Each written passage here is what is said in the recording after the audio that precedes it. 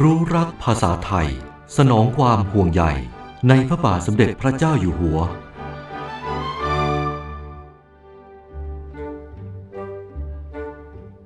เฉียงต่างกับเฉวียงอย่างไร